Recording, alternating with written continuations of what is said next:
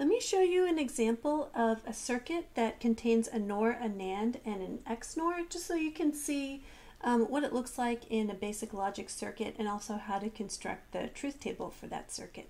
So um, suppose we have inputs A and B going into a NAND gate, and let's say we have inputs C and D going into a NOR gate, and then let's take those outputs and pipe those as inputs into an XNOR.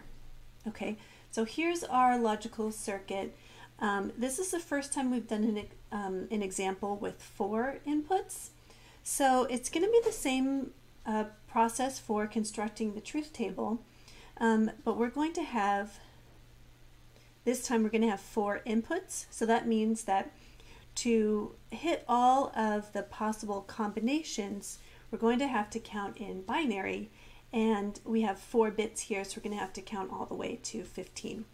So that'll be 0001, 0010, 0011, 0011, 0100, 0101, 0110, 0111, 1000, 1001, 1010, 1011, 1100, 1101, 1110, 1111. So those are all, all of our possible inputs for our truth table. Now, um, technically for our truth table, we just have to have all the inputs and then the output that corresponds to all of these combinations.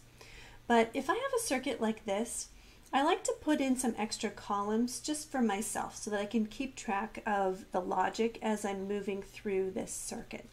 So the first thing I'm going to do is I'm going to make a column for A and B. Um, and then I can easily invert that column to give me um, a NAND B. So if I start with A and B, I just have to look at the inputs that are on A and B. So just these first two columns right here and AND them together. So 0 and 0 is 0, 0 and 0 is 0. These will all be zeros. 0 and 1 is also 0. 1 and 0 is also 0. And we're not going to get a 1 until we get down to here. So 1 and 1 is 1, and these will all be 1s. Now, I can take this column and I can invert it. So A and B not is the same thing as NAND. Okay, so this column right here is going to give me the output of this gate. Um, the reason why I like to do this and first is now I don't have to look at any of the inputs. I just take this column and wherever I see a zero, I put a one. So this will be one, one, one, one, one, one, one, one, one, one, one, one, zero, zero, zero, zero. So this here now is one of the inputs that are it's coming into this XNOR. Great. So now let's do the same thing down here. So this is going to be an OR, and then the output of that OR gets negated to um, give us the NOR. So first if we do C or D, then I just have to look at what's on these columns here. So these second, um, second two inputs.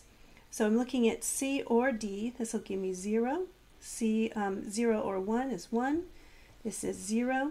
This is 1. No, I'm sorry, this is 1. This is 0. 0 or 1 is 1. 1 or 0 is 1. 1 or 1 is 1.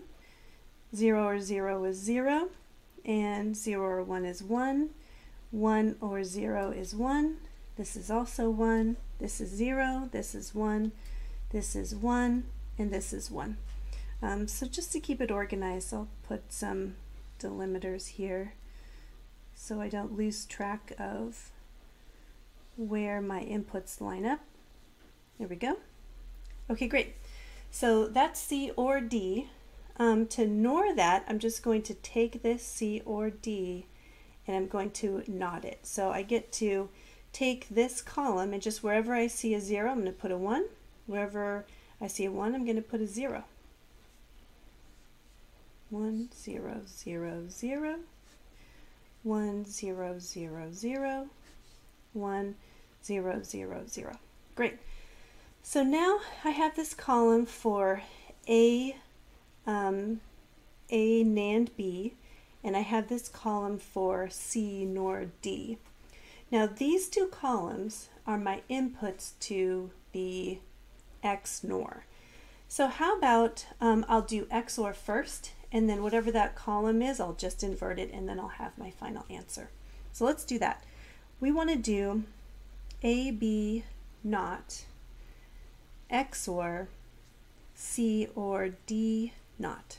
So I'm taking this column and I'm taking this column and I'm taking the XOR between those two. So remember exclusive OR is only one if one of them is one, not both and not neither. Okay, so this is going to be 0, 1, 1, 1. This is going to be 0, 1, 1, 1. This is going to be 0, 1, 1, 1. This is going to be 1, 0, 0, 0. Okay, great. Now, to get my final F, I take this column and I just invert it because I did XOR um, this should actually be XNOR. So in order to turn this into an XNOR, I'm just going to pop an inverter on that, which is going to invert all of these outputs. This will be 1, 0, 0, 0, 1, 0, 0, 0, 1, 0, 0, 0, and 0, 1, 1, 1. And um, like I said before, technically for your truth table, all you need is the output and the corresponding inputs. But if you want to put columns in here for your intermediary steps, just to keep track of them and keep it organized, that's totally fine, and I highly encourage you to do that. Um, so let me know if you have questions about the NOR, the NAND, the XNOR, and um, also two-stage circuits like this and how to construct the truth table.